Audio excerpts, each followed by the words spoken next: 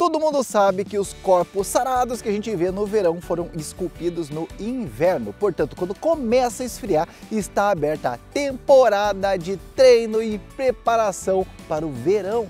Eu não sei qual é o seu objetivo, se aumentar a autoestima, ficar mais sarado, colocar o biquíni, poder se sentir melhor, diminuir dor nas costas, melhorar sua saúde, seja lá qual for. Nesse vídeo vou te dar as três melhores dicas para você conseguir praticar exercícios no inverno.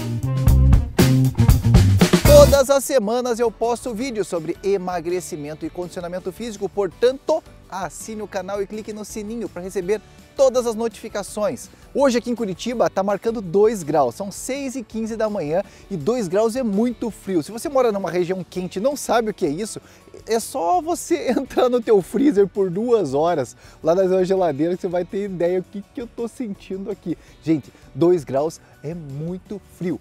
Então, para me ajudar a esquentar aí, dá um like aqui no vídeo, que pelo menos para me dar uma motivada, né? Vamos lá para as três dicas para você conseguir sair da cama e treinar no inverno. Primeira dica, arrume uma companhia de treino. Alguém que já esteja habituado a treinar, que já tenha o hábito de treinar no inverno. Essa pessoa vai te ajudar bastante, vai te ajudar a criar hábitos. Você pode treinar que seja 15, 20 minutos com essa pessoa e depois ela continua o treino dela, porque ela já está mais avançada. Mas só de conviver com essa pessoa você já vai se tornar uma pessoa mais motivada. Lembre-se, nós somos a média das cinco pessoas que a gente mais convive. Portanto, se você conviver com pessoas motivadas, você também vai estar motivado. Se você não conhecer ninguém que faça exercício de manhã, no inverno, você pode simplesmente se inscrever num grupo de corrida. Por exemplo, tem vários grupos de corrida que são bem legais. Ou se inscrever em uma aula coletiva na academia, uma aula com hora marcada, assim, onde os professores te motivam, te incentivam e tem uma turma também que vai te animar. Segunda dica, encontre uma boa distração.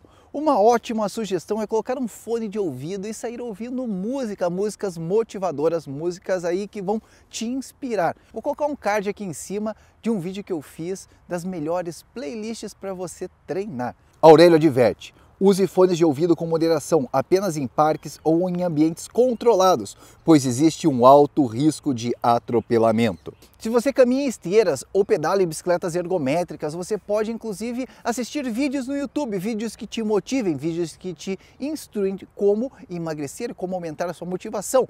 Uma sugestão é assinar o canal do Aurélio e assistir os vídeos lá na academia.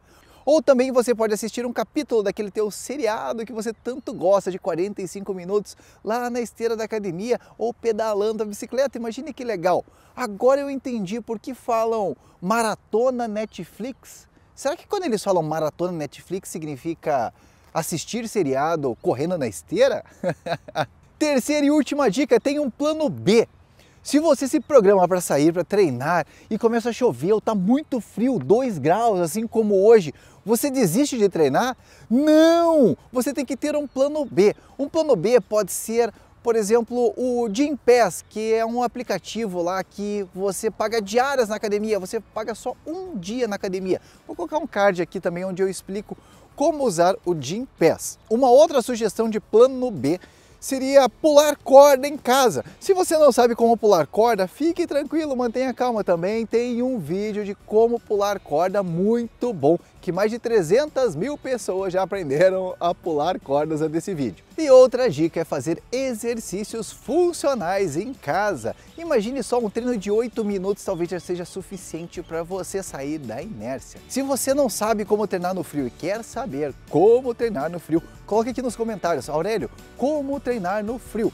Assim eu vou gravar um vídeo te dando instruções. Lembrando que todas as semanas eu posto vídeos sobre emagrecimento e condicionamento físico, portanto, assine o canal e clique no sininho para receber todas as notificações. Um abraço, até mais. Tchau, tchau. Uh. Só louco para vir aqui nesse horário, nesse frio.